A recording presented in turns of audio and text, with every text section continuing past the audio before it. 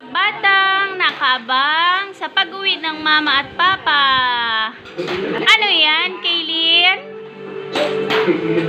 Wow! Para saan yung savings nyo?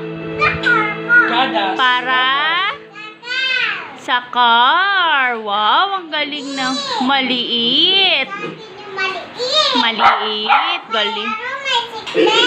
Oh, may seatbelt? Ang galing naman yan. Wow.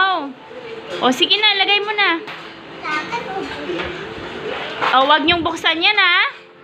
Wag niyong bubuksan yan, ha? Opo. Hindi, hindi pwedeng bubuksan yan. kapag kapuno na? Opo. Kailangan punuin yan, ha? Hindi po. Maalalang, agaran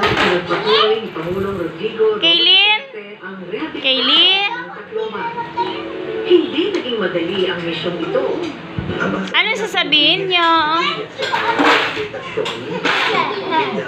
naapektuhan ng bagyang Yolanda. Wow. Ano sasabihin niya?